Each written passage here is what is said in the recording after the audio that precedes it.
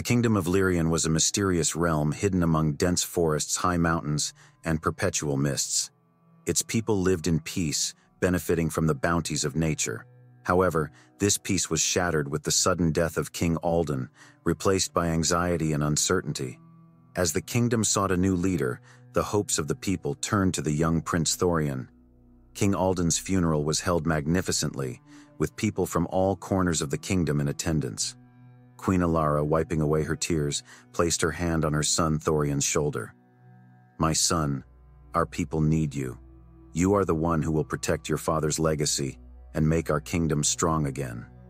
Encouraged by his mother's words, Thorian responded, Mother, I will follow in my father's footsteps and protect the kingdom of Lyrian. But this task would not be easy. The kingdom's loyal advisor, Elendor, approached Prince Thorian and said, Your Majesty, there are envoys who wish to see you. They all hope for peace under your leadership.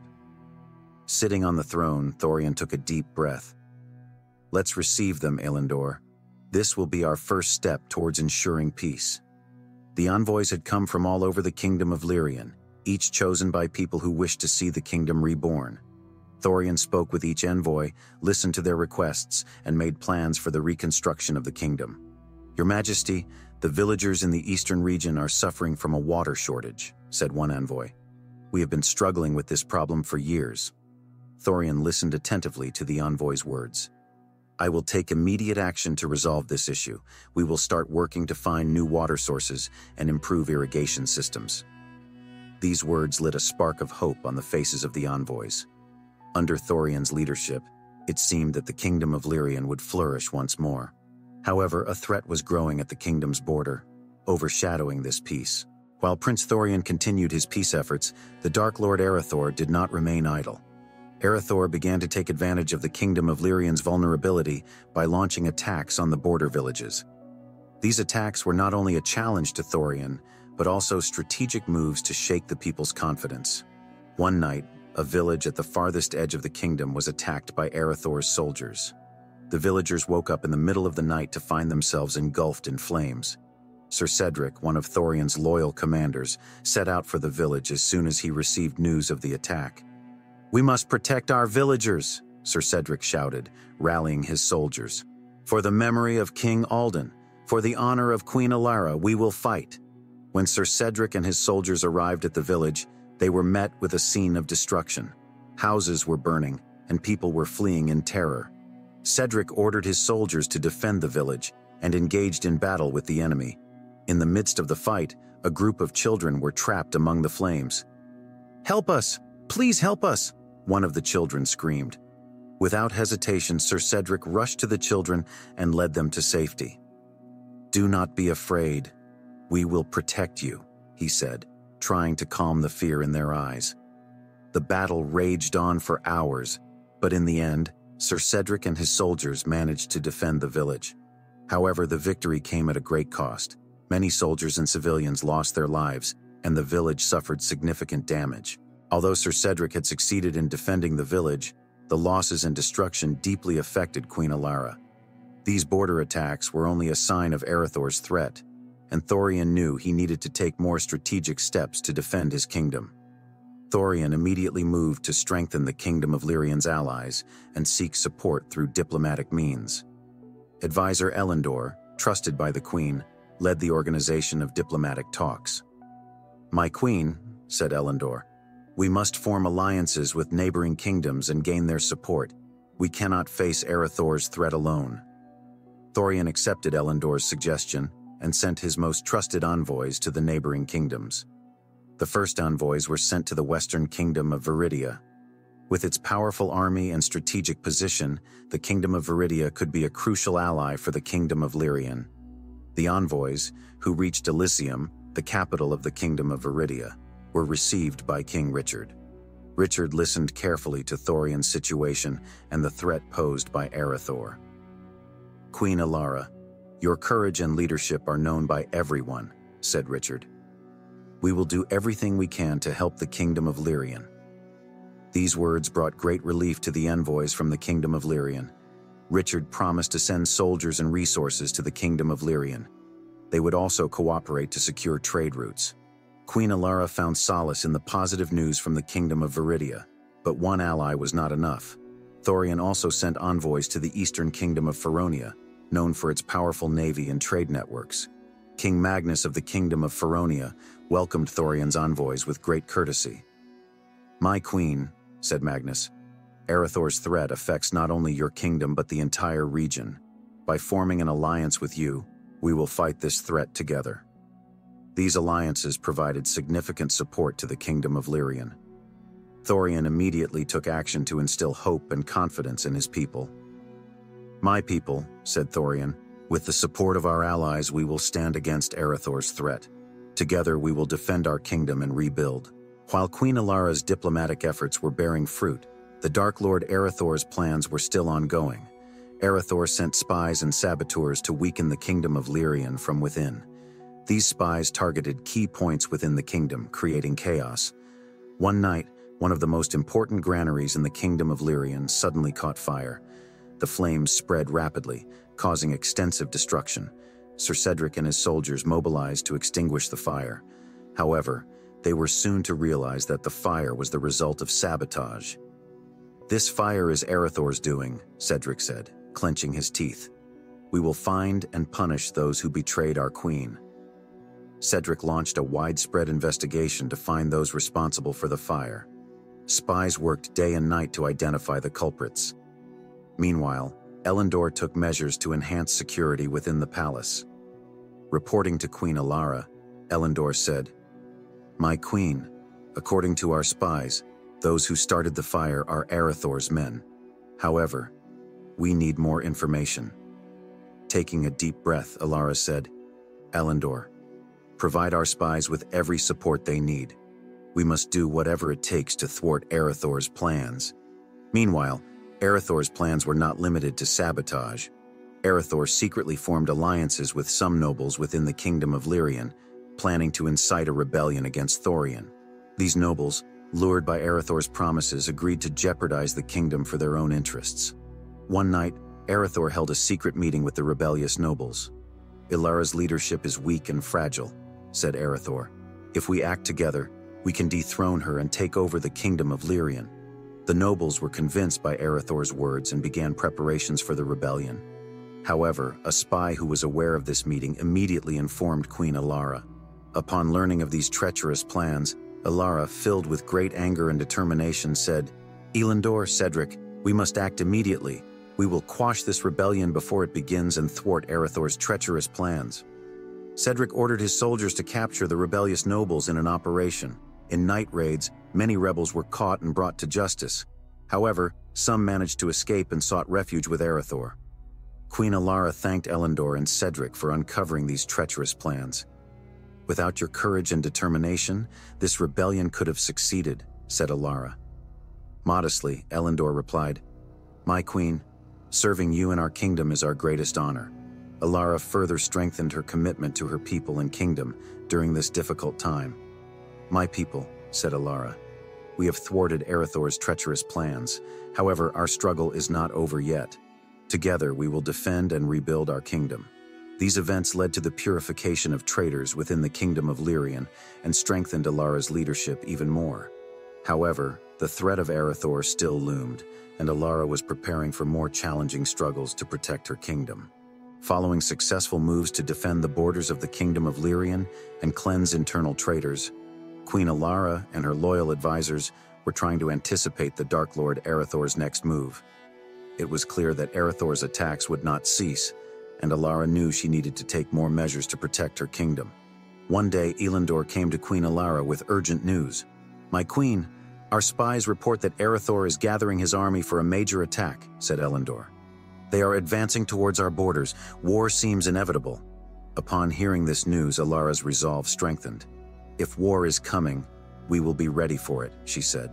Elendor, gather Sir Cedric and the other commanders. We need to devise a war strategy. Responding to Alara's call, Sir Cedric arrived at the palace immediately. My queen, what strategy will we employ against Arathor's army? asked Cedric. Speaking over a map, Alara said, Arathor's army is strong, but we are not weak. We will strengthen our border areas and place defensive units at strategic points. We must also call for aid from our allies. The kingdoms of Viridia and Feronia have promised us support. Elendor quickly set out to send messages to the allies. Meanwhile, preparations for war continued in villages and towns. To boost morale, Alara visited the people. My people, said Alara, together we are strong and invincible. War is at our doorstep, but with our courage and unity we will win this war. As the war preparations continued, Arathor's army approached the border regions. The soldiers of the Kingdom of Lyrian were positioned at the border, ready for battle. Alara, Sir Cedric, and the other commanders went to the border to boost the morale of the soldiers. This war will determine the fate of our kingdom, Cedric said, addressing the soldiers. Under the leadership of our queen, we will stand against our enemy and protect our kingdom. It's time to show your courage and loyalty. The soldiers were encouraged by Cedric's words. As Alara looked at the battlefield, her determination and courage grew even stronger. We will stop Arathor, she said to herself. We will protect our kingdom and bring peace to our people. When Arathor's armies reached the borders of the kingdom of Lyrian, the first clash became inevitable. Arathor's powerful army launched a major attack on the border regions of the kingdom of Lyrian. This attack was a huge shock for the kingdom of Lyrian. Arathor's armies were known for their strong armor and the bravery of their warriors. This army displayed great power on the battlefield. The first clash caused great losses not only for the soldiers, but also for the people. The border villages of the Kingdom of Lyrian were attacked by Arathor, and the people living in these villages suffered greatly. The soldiers of the Kingdom of Lyrian showed resistance in the border regions, trying to halt Arathor's advance. However, they struggled against Arathor's powerful army. Prince Thorian fought bravely on the battlefield, trying to keep his people's morale high. Thorian, with his warrior spirit, was at the front lines, encouraging his soldiers. His leadership was a great source of morale for the soldiers of the Kingdom of Lyrian. Thorian fought bravely, supporting his soldiers even in the most intense moments of the battle. His bravery was a great inspiration for the soldiers of the Kingdom of Lyrian. Advisor Elendor, on the other hand, demonstrated strategic leadership by strengthening the defense lines of the Kingdom of Lyrian. Elendor made strategic moves that changed the course of the battle, trying to halt Arathor's advance.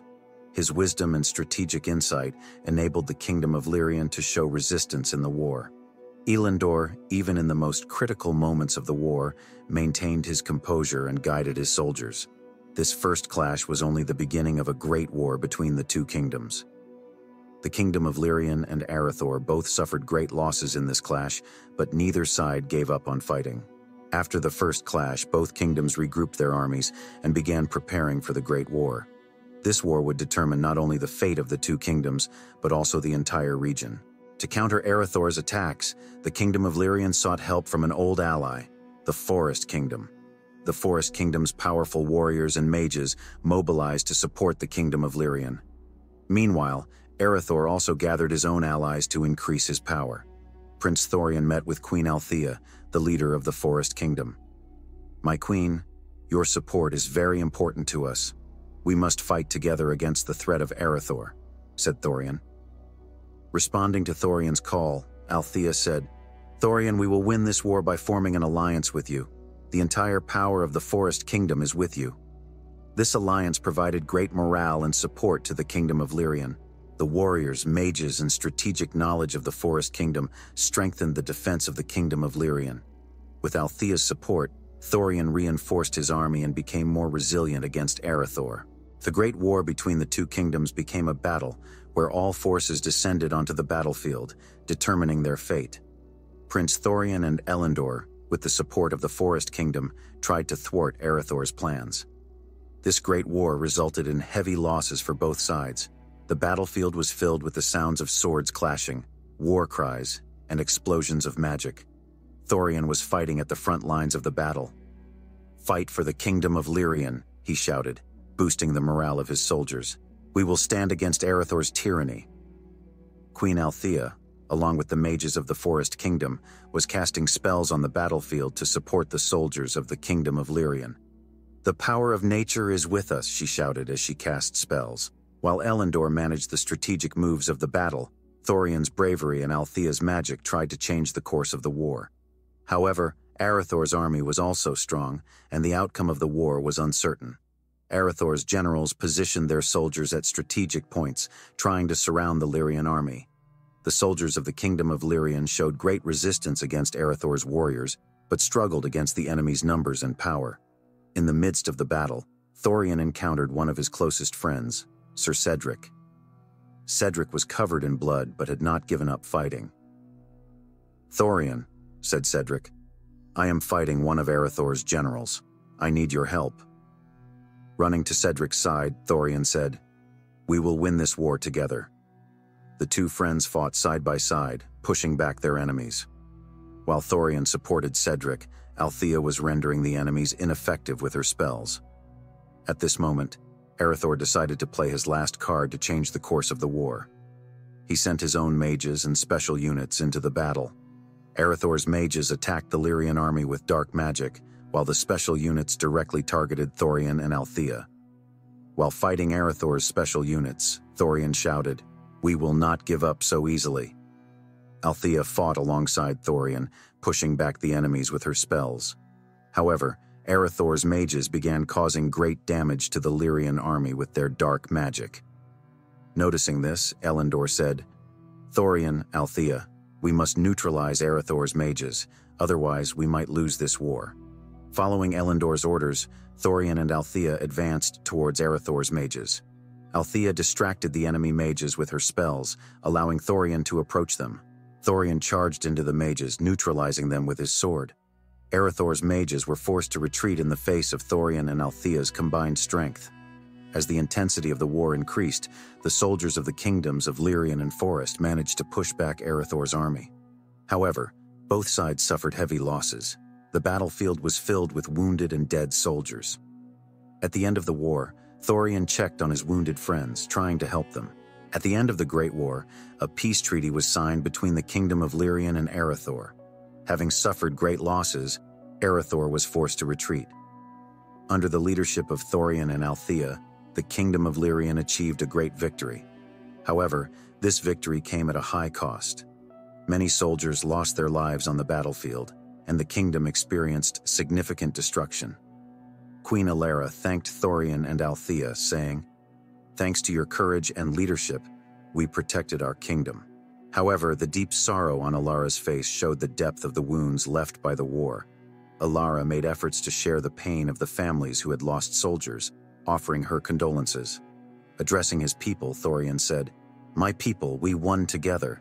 This victory is a testament to our unity and courage. The future of the kingdom of Lyrian is bright. Thorian's words boosted the morale of the people, though it did not fully ease the pain of their losses. As Althea returned to the Forest Kingdom, she bid farewell to Thorian. Thorian, it was an honor to fight alongside you. We will continue to support each other in the future, she said. Shaking Althea's hand, Thorian said, Althea, we could not have won this war without your support. We have forged a strong bond between our kingdoms. We will continue to work together in the future. After the war, Queen Alara led the reconstruction efforts. Great efforts were made to treat the wounded soldiers, rebuild the destroyed villages, and support the families mourning their losses. Thorian, under his mother's leadership, actively participated in the reconstruction process.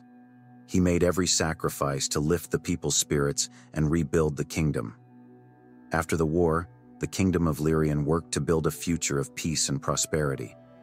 Under the leadership of Thorian and Althea, a strong alliance was formed between the kingdoms.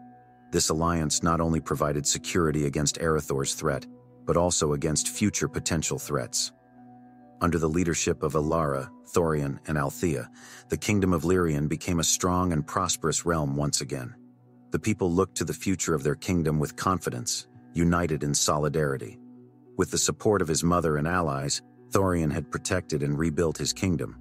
Alara, proud of Thorian's leadership, looked to the future of the kingdom with hope. As the kingdom of Lyrian healed the wounds of the war, it entered a period of reconstruction. Thorian and Althea initiated new reforms to increase the welfare of their people.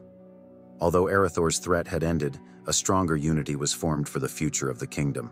Looking at Thorian and Althea, Queen Alara said, this kingdom will be reborn under your leadership. Together, we will make the kingdom of Lyrian stronger and more prosperous. Thorian, approving his mother's words, said, Yes, Mother. Together we will lead this kingdom to a brighter future. After the war, the kingdom of Lyrian was reborn and took steps towards a future of peace. Under the leadership of Thorian, Althea, and Alara, the kingdom became a strong and prosperous realm once again.